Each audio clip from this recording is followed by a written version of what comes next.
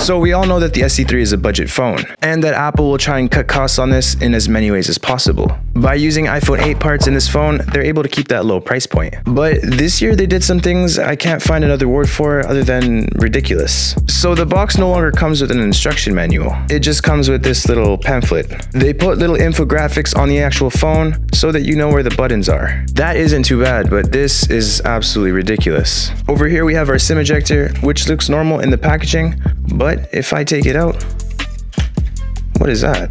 They went from this thick SIM ejector to this tiny paperclip looking SIM ejector. Uh, how much do you guys think this really saved them?